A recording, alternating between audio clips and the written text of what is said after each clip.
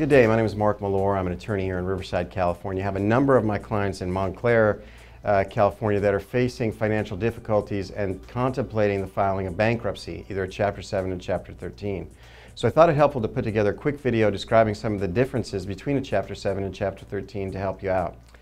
In a Chapter 7 bankruptcy, one of the distinctions between that and a Chapter 13 is what, what exactly that means. What that means is, is a Chapter 7, you discharge all of your debt to your creditors.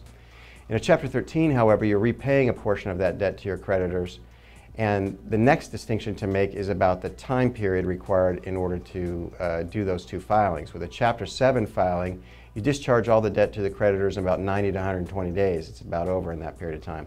With a Chapter 13 filing, however, it takes three to five years because you're repaying a portion of that debt back over that period of time. Uh, so the period of time and the type of repayment are some of the biggest distinctions.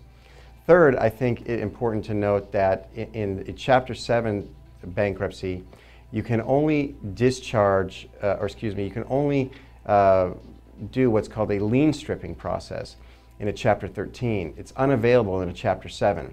So if you are thinking about lien stripping, and you may want to know what that is if you don't know, lien stripping is a process by which you remove the second or third encumbrance from your home, thereby giving you a fusion of equity back into the home to bring you up to market value. Well, if you've got, like most people, a home here in the Inland Empire, your property value's been uh, gone down by about 50%.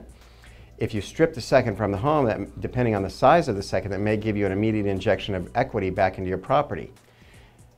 Lien stripping, however, is only available in a Chapter 13 repayment program. So if lien stripping is a motivation for you to file a, bankruptcy, then you want to make sure that you file a Chapter 13. I can't tell you how many clients have come to visit my office after they went to one of those 299 uh, paralegal bankruptcies or uh, their realtor filed a bankruptcy for them to stop a foreclosure or something like that. And they want to know how they do the lien stripping process. And of course, I have to inform them that it's unavailable to them. But if you have some issues that you'd like to discuss or something I haven't covered, feel free to call my office. I'd be happy to sit down with you or talk to you over the phone about your particular circumstances.